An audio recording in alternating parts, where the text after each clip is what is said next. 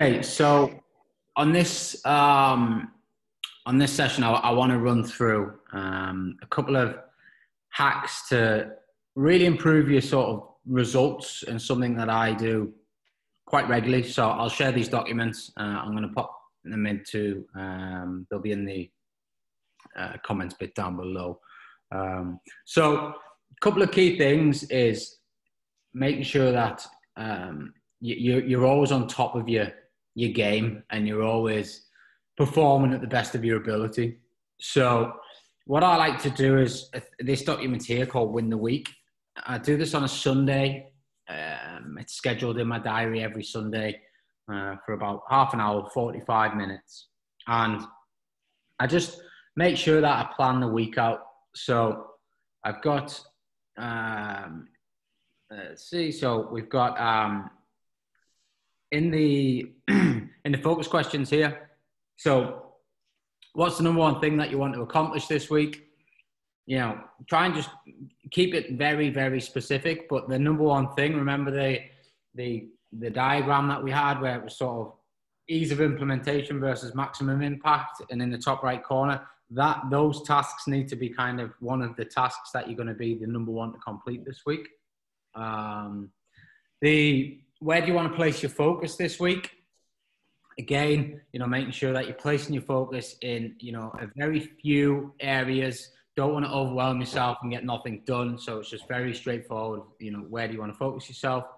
Um, who do you want to focus on serving this week? And, um, you know, in terms of, you know, serving, it, it, it's more along the lines of, um, uh, two sections. Um, um, you know, is that serving your staff? Is it serving yourself? Is it serving guests? Is it serving tenants? You know, you got to think of like who's your client? Is it serving estate agents? Is your client? So just have a think about you know who you're going to serve. Uh, acquisition and revenue goals. So how many units do I want to acquire this week? Um, that what is my goal, and you should be able to confidently predict that based on your pipeline. Um, how many uh, direct bookings cash collected? So if you're running service accommodation, then how much have you collected from direct bookings? And you want to make sure that you know you have a target and you are achieving that each week, um, because that all just drips in. I think more often than not, people get lazy; they just rely on the OTAs, and when the OTAs shut you off, you're left high and dry. So I've got to shift this mindset to direct bookings, and that's cash collected as well. So, you know, how much have you invoiced out, and have you had, you know, the taken through Stripe or whatever medium you take your payments through? Uh, how many viewings have you booked that week? Uh, so, or what is your target? So, is it 20, 25, you know, what, whatever it is? Put your targets out there, and then they're out there. This is kind of holding yourself accountable. Obviously, you're going to review this document so part of your before you before you set your new weekly review, say on a Sunday night, your first 10 minutes might be looking at the review document that you wrote last week. But you should really be looking at this, you know, quite regularly through the week and just making sure that you're on track with stuff. In terms of your three core projects, so uh, you might have, you know, things like set up a ManyChat flow to come from Facebook ads and lead them into, you know, whatever, a, a BRR, quick sale flow or a service accommodation flow, whatever it might be. Um, it could be set up XYZ unit and get it listed, you know. So a project is something that, you know, might take a bit more than an hour. You know, it, it might be accumulation of a couple of days or it might be accumulation of a couple of sessions that you need to put together to get the activity done. Uh, and you should have three of those on your calendar every single week. And again, those three move your business forward. You then want to break yourself down in terms of uh, days. So Monday, Tuesday, Wednesday, Thursday, Friday. Um, so again, you'll get copies of these documents, so you'll have everything. Now you'll see here you've got game day, preparation day, or free day. So for me, a game day is it's typically a Monday or a Tuesday. Uh, I've brain dumped a load of stuff on a Sunday night. I've been thinking about stuff over the weekend. You know, what can, what do I really want to do? And I try and just like cram, not cram in loads of stuff, but my basically getting shit done day is, is, is game day. So, you know, that could be, you know, actually building out flows or, um, you know, sitting down and researching loads of properties, um, you know, sending out a whole host of messages to the right people, whatever it might be, you know, that is game day. That's like pure activity level day. And, uh, you know, you need to have these on, on your calendar. So for me, I tend to, Mondays and Tuesdays tend to be my game days. Um, and then a preparation day is basically a day where you've got stuff on your calendar and that's going to tee up your game day. So typically Thursday, Fridays will be my preparation day for Monday, Tuesdays. So I'm making sure that I've got, um, you know, uh, I'm making sure I've got, you know, everything set up that I need to set up.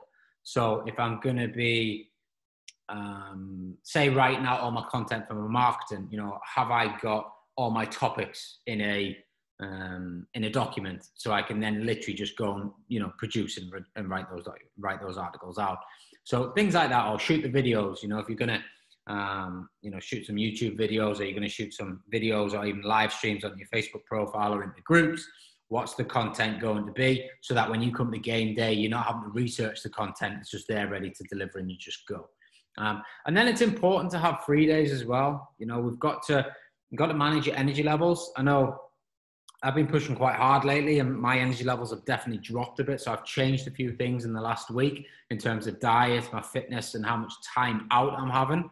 And that's allowing me to actually get more energy, more focused, and want to push even harder. So you've got to manage your energy levels, and you've got to be aware of your energy levels, which these documents will kind of um, come on to. So, uh, what's the purpose of the day?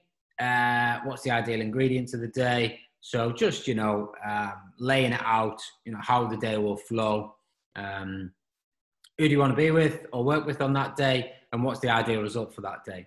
So on a Sunday, you're kind of just planning your week out, and then you go and execute your week. And once you've got this information, you then put it into your Google Calendar and you plan your week out. Okay, so you make sure that everything from here is put in, and you're planning your week out.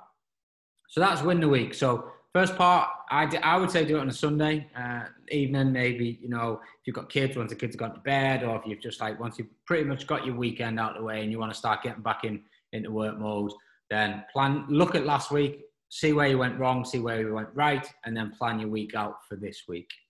And then as you're going through the week, it's important that we constantly are analyzing and monitoring. So in the, um, you know, various reports get sent into me, but I also think it's important for me to analyze myself. So every morning, you'll see on my calendar here is the first thing I do every morning, pretty much, is my morning intentions. So, what's the bottleneck in the value chain? Um, so, you know, we highlighted this from uh, the KPI tracking uh, video. So where you're going to identify your team, uh, identify you know what you use, and who is responsible for what KPIs, and then at the bottom you have a, a, a, score of one to five. You know where's your where are your ones and twos? What's your bottleneck? So for me recently, it's been acquisitions. So my morning intention uh, for pretty much the last week or two has been acquisitions, and I've been like really focusing on trying to fix that, and I feel like we've kind of made some good shifts on that this week. Um, What's your main focus today? Don't overwhelm yourself with loads of stuff to do. I've got in the habit of doing this, thinking I need to do as much as I possibly can move as quick as I can. All it ends up doing is you end up stressed, frustrated. Nothing really gets done to the best of the ability, and you actually do nothing or very little. Um, what are the three top tasks, projects that you committed to completing today? So this is kind of not as in-depth a project as maybe in the uh, in here where we have the three core projects. This could just be um, like today for me. I want to create some new end of day reports specific to the relevant job roles rather than a, I've, at the minute I feel like I've got a generic one and it, everybody fills it in and it but really I want to make it more specific to um, to the department and to the person. So I want to. That's one of my little projects for today that I want to complete. So, um, and then obviously I'll get that issued out to the staff. Uh, what loops am I committed to closing today? These are kind of things that hanging over your head, draining your energy a bit, um, you know, and just really you just need to get off your plate. You know, it could be that sort of thing that's been on your to-do list and you just keep pushing it back and back and back. You know, we've all been there. So, you know, just get it on, just get it done and get it boxed off because you don't realize, but having these, having these like open loops for like normally menial little tasks, they really do soak your energy up every day. Like, oh no, I need to do that. You better just just clearing it off and getting it done, or handing it over to someone to get it done. And uh, what's your perceived energy level? And I think this is important to kind of know where you're at. This is how I knew that I needed to kind of just take time out a bit and just just sort of recharge. So these are kind of the the energy levels. So no energy burnt out, low energy, okay energy, almost full tank, clean energy, and full tank of clean energy, you know, ready to go. So um, what am I committed to do today to raise perceive my energy level? So, for example, the last few weeks I've committed to drinking less coffee and drinking more water. As daft as that sounds, um, I was at like five cups of coffee a day. I've gone down to like one uh, to two and not having any after two o'clock so that I sleep better um, and drinking more water. And I just feel so much more up and ready to do shit again. So I'm like, this is like changed you know, a lot of us think that it's the strategy that's going to get us there, or it's like, you know, getting out and hustling all the time. And, and yes, there's an element of that. But at the same time, if you can't drag yourself to do something at the best of your ability at all times, you're not passionate about, it, you're not pumped about doing it, very more often than not, it's not going to be done to the highest standard and you're probably not going to get the right result. So it's important to, to know where you're at and then what you're committed to to helping you raise your energy. Um, what am I most looking forward to today? And this can be anything. For me, this morning it was uh, a game of tennis. Um, so, you know, that, that's what I was looking forward to doing because I felt like, you know, I just needed that headspace. I wanted to get out there and, and just, you know, sweat a bit and, and what have you. So it doesn't always have to be work. And then what you're grateful for today. So um, I do think this is a cliche question. I never used to believe in it, and I thought it was almost like just a bit of a pat in the back sort of thing that you know these sort of mindset people.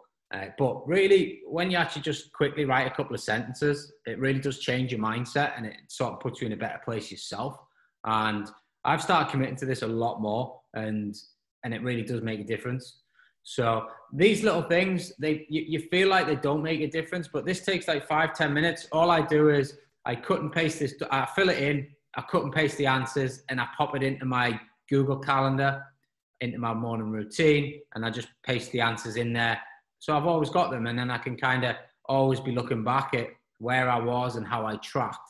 Um, and then at the end of the day, it's you know evening reflections. So I do mine about four o'clock. Here you'll see four o'clock. Um, you know, and I've been getting a lot more strict with like four o'clock evening reflections, and then check out because I seem to get going again around seven o'clock, eight o'clock with either webinars or things like that. So I, I've started to like really start checking out at four o'clock and having some some downtime um, to kind of then get ready to go again.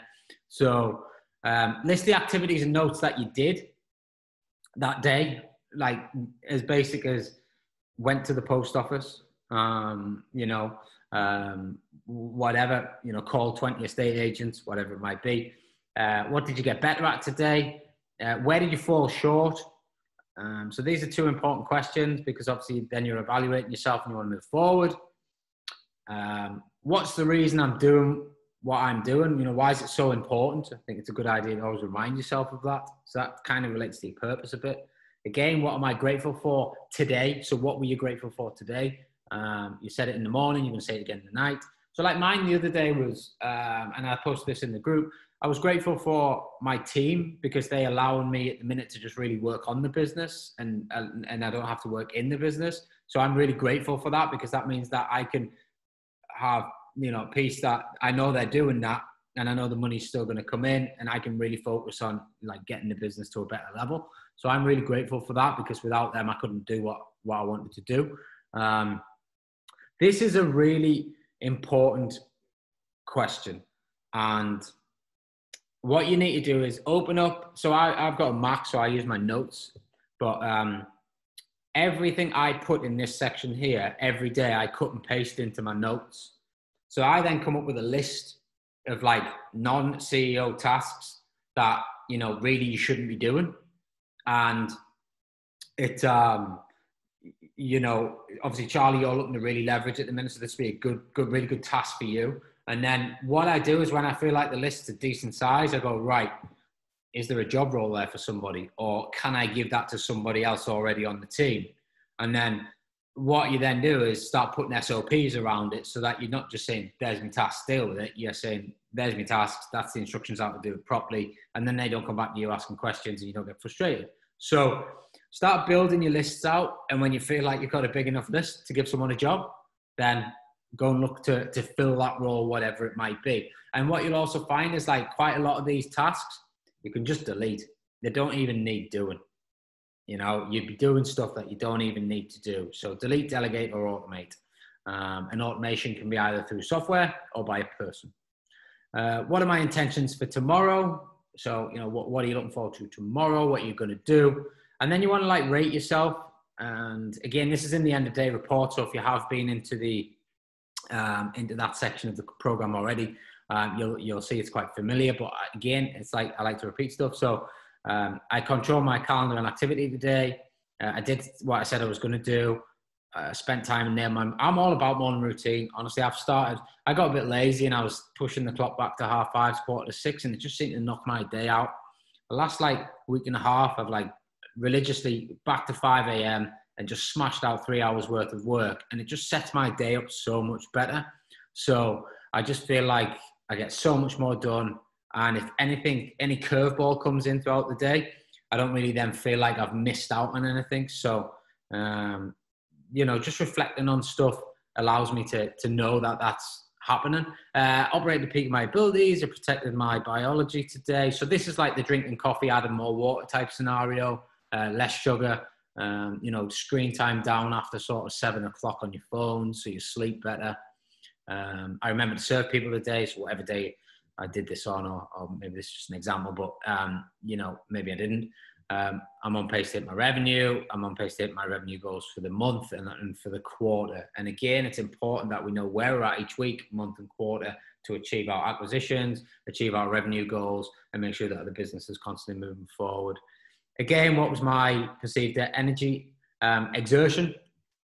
So, um, you know, where, where did we see we were at in terms of one to five? Uh, what am I committed to do, to doing or not doing tonight or tomorrow to improve my energy level? So, for me at the minute, it's definitely less screen time after seven o'clock. I can get a bit dragged into my phone or my Mac, and uh, and then that, you know, just I just want to get it away, and I've spent more time just like, you know, doing stuff around the house or just pottering around a bit without even like going near my phone, like putting it in a different room. I think far too often we get sucked in our phones. One thing as well with basically when we go into our phones, uh, we get a dopamine hit.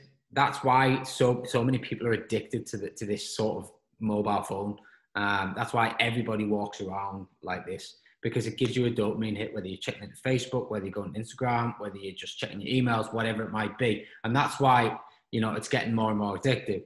So what happens then is you become less and less, um, it actually takes a bit of your ambition away to then actually go and do something um, for your business because when you're then doing it for your business, you're not getting that dopamine hit. So you're not like thinking, oh, I love doing this. It's kind of, oh, this is another run of the mill task again. And again, since I've started putting my phone back down a lot more, I'm like loving being back into like work mode and, you know, really getting stuff done because, you know, although I might come across as the most high energetic, you know, always at it type person, I, am not, you know, and, you know, you, you kind of got to change and know where you're at and you've got to, I have to, put these things in place to be able to keep keep myself going and keep myself upbeat because you know it's it's actually harder that I think the more successful you become, it's harder to keep yourself pushing because you can hit those very easy comfort levels,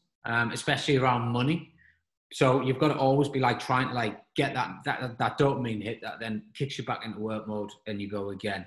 Um, and then just any final thoughts uh, that you know you might have around the day or that you feel like is important to just put down on a bit of paper, just write it down, and um, and then that basically um, covers your day. You know, so you plan your week, you plan your morning, and you plan your evening every single day. And by doing this small commitment, you're talking like 45 minutes on a Sunday, five minutes on a morning, five minutes on an evening, every single day of the week, even Saturdays and Sundays, and you'll definitely move your business forward.